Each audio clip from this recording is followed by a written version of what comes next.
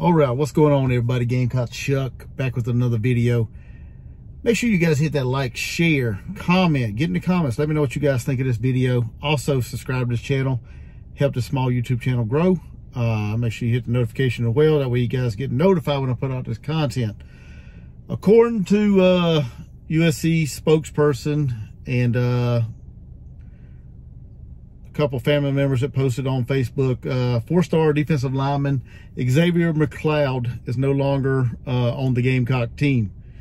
Um, now, I don't want to speculate as far as what I've read online, but uh, it's not very good for the Gamecocks, in my opinion, because this is a position of need that we that we need.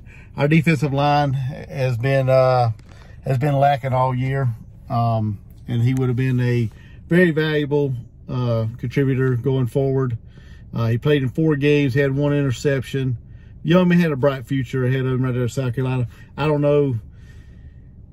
Maybe he, I don't know. I don't want to speculate. I mean, our defense is, is terrible, and I hope I hope that really didn't play into any of the factors, but I don't know because, like I said, I'm not in the know. I don't have any inside knowledge. I'm just going off what I've seen online and, and things I've read, but uh, it was a terrible loss for the Gamecocks. Um, like I said, this place is a, a, position that we really, really needed to beef up to add some lack, you know, some depth uh, on the roster. And I, I, was really excited when he uh, committed to South Carolina. He was the last year, he was last year's Mr. Football for the state of South Carolina.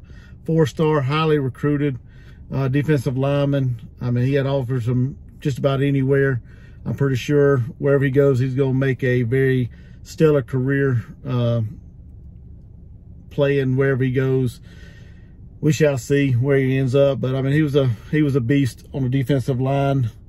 Um, like I said, I don't know what happened. I wish I knew, but just wishing the best of luck. You know, going wherever he goes, wishing the best of luck, uh, and uh, hope he has a bright and prosperous career. Um, I wish I wish no ill will on the young man.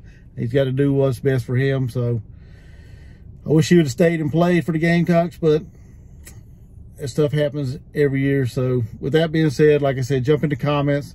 Let me know your thoughts on this situation. Let me know uh, what you guys think of uh, us losing him.